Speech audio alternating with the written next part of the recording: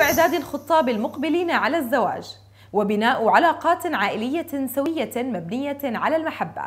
كانت مدار حلقة نقاش في برنامج صباحكم نور الذي أعدته وقدمته الدكتورة باسم السمعان عبر اتصالات هاتفية أجرتها نورسات مع كل من سيادة المطران ويليام الشوملي مطران اللاتيني في الأردن وقدس الأب سالم مدانات وقدس الأب شوقي بطريان وقدس الأب جورج شرايحة حيث تركز الحديث في حلقة هذا الأسبوع حول أهمية عقد هذه الدورات والتحضير لسر الزواج المقدس وكيفية الحفاظ على هذا السر وفهم معانيه السامية التي يجب أن تكون مبنية على المحبة والانسجام والتفاهم.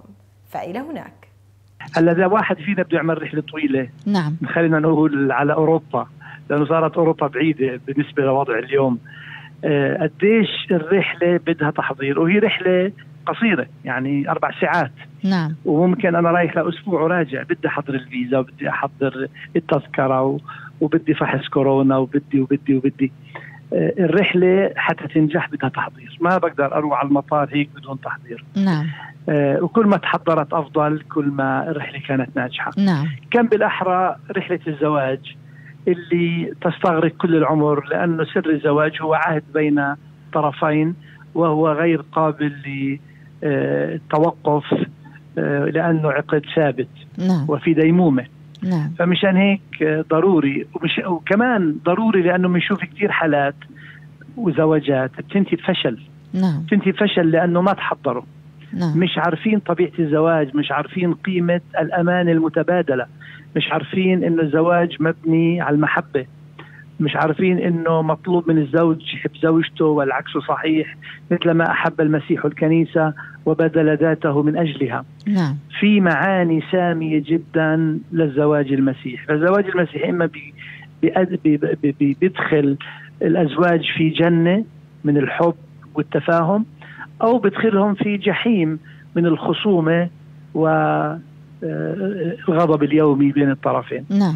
هلا آه، التحضير للزواج هو تحضير حتى يفهموا ما معنى هذا العقد ما معنى هذا العهد ما كيف نبني العلاقات نبني على الثقة كيف نعيش الأمانة مدى العمر كيف نتكل على نعمة الر- الرب أهمية الصلاة في حياة الأزواج نعم. الصلاة اليومية البيتية. أهمية قداس الأحد أهمية الاعتراف من وقت إلى آخر أهمية المناولة اللي بتعطي قوة وحياة للأزواج والعائلات. نعم. ففي تحضير إيماني وأيضا تحضير مباشر حول الرتبة نفسها كيف تتم هذه الرتبة وما هي معانيها. واللي بيشارك في هذه الرتبة في هذا التحضير بشكل جدي هو يحصد ثمار آه، يانعة وغنية لحياته وحياة عيلته وإلا بدون أي تحضير الزواج مهدد بالفشل. عادة آه، إحنا بنعمل خمس لقاءات. نعم. آه، منها لقاء آه، كتابي مبني على الكتاب المقدس ومعنى الزواج في الكتاب المقدس. في محاضرة ثانية حول ليتورجية الزواج الرتبة نفسها كيف تتم. في محاضرة ثالثة حول التفاهم داخل ال- البيت. آه، محاضرة رابعة ناحية طبية ومحاضرة خامسة ناحية قانونية يعني حقوق وواجبات الأزواج ومعاني بطلان الزواج والنفقة والمشاهدة إلى آخره.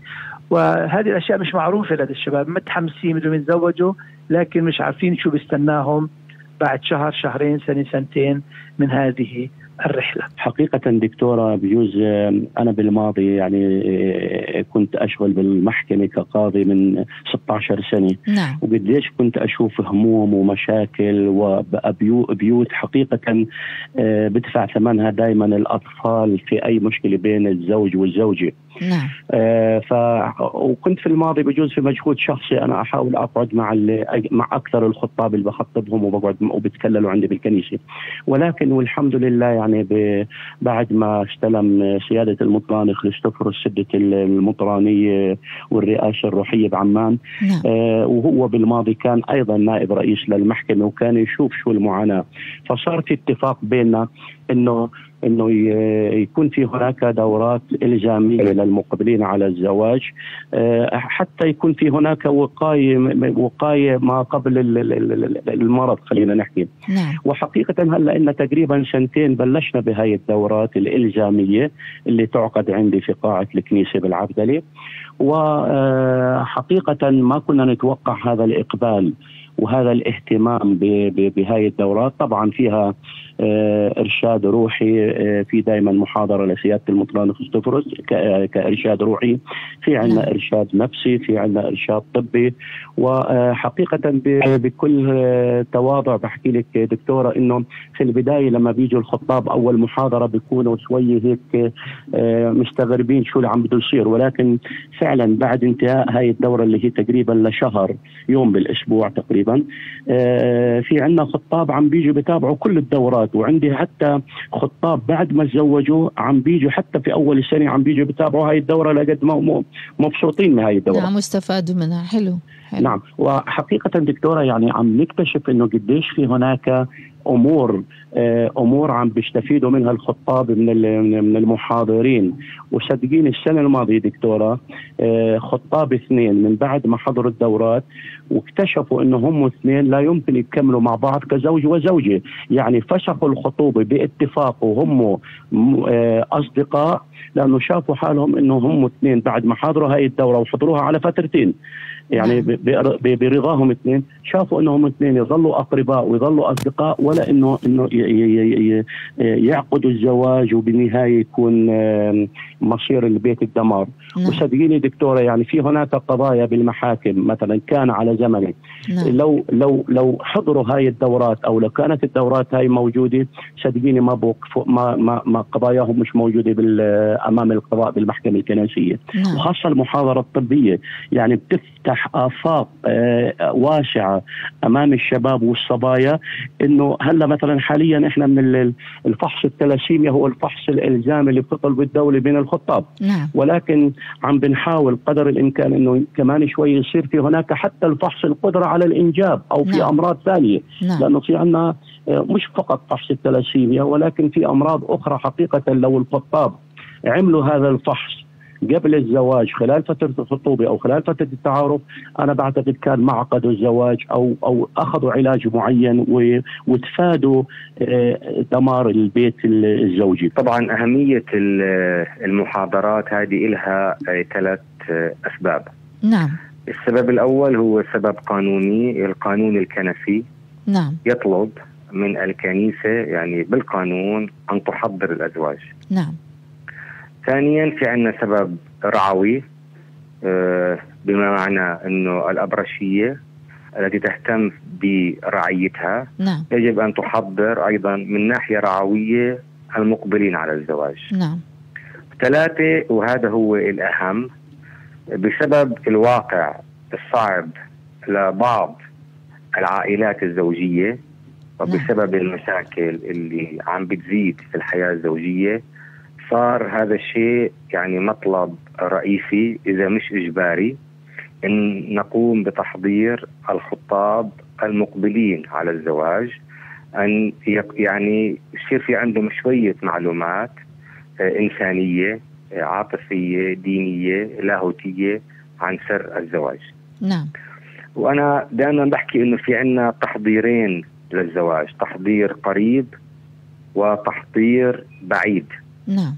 التحضير القريب اللي اللي بتعمله الكنيسة بشكل عام في الأردن اللي هي عبارة عن خمس أو ست محاضرات آه، بتعالج كل الأبعاد الإنسانية والقانونية والنفسية للأزواج ولسر الزواج، هذا تحضير آه، خلينا نقول آه، قريب. نعم.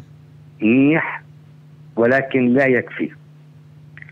المهم والأهم منه اللي هو التحضير البعيد نعم.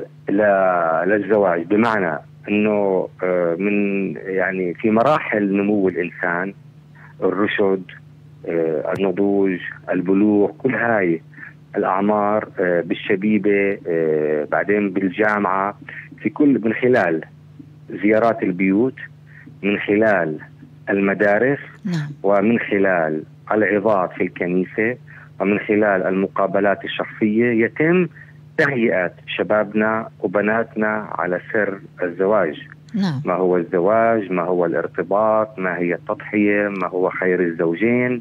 هذا تحضير بعيد وهذا يعني بترك أثر أكثر في الإنسان نعم. من التحضيرات. التحضيرات التحضير القريب كثير منيح وممتاز وبيخلق الكثير من التساؤلات ولكن هو كثير قريب من موعد الزواج. عادة نعم. بنعمله إحنا بشهر أربعة أو ثلاثة وبكون الزواج بشهر ثمانية نعم. أو سبعة. وبالتالي يعني ما بكون في كتير تركيز مهم وبيساعد. نعم. ولكن لازم نشتغل على التحضيرين أفضل نعم. القريب والبعيد. أنا أعتقد وجهة نظري انه هذه الأمور كلياتها آه، من أجل مساندة هذا هذا الزواج لقيام هذا السر المقدس. نعم. آه، يحتاج الدعم من الجميع مش بس من الكنيسة من نعم الاهل الكبار الراشدين من معهم بالكنيسة كل الناس يقدم آه، المشورة. في النهاية كل واحد له اختباره الشخصي أكيد. ولكن الهدف من هذه الدورات أن- أن يدخلوا في حضن الكنيسة اولا. وثانيا إنهم يكون في عندهم خبرة الناس. يعني من هو الحكيم؟ الحكيم الإنسان اللي بيتعلم من اخطاء الناس. مو شرط الواحد إنه يتعلم آه، من اخطائه بس يعني في شغلات لا تجرب ومن نعم. بينهم الطلاق أو فسخ الزواج.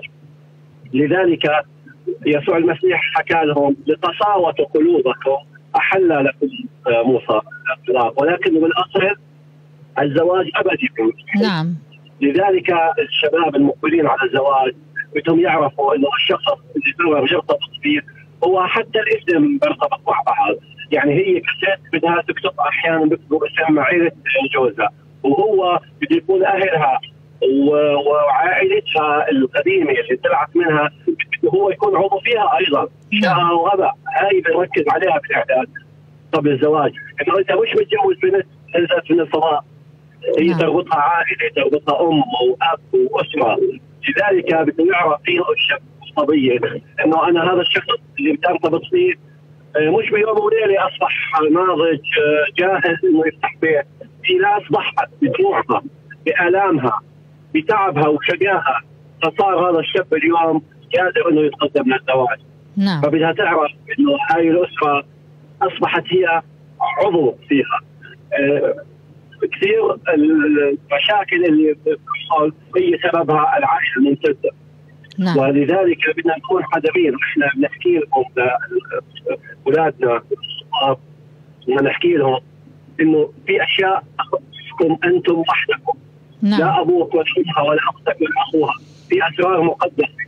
يجب أن تبقى داخل هذا البيت. ومتى خرجت؟ أصبحت المشكلة خارجة عن السيطرة.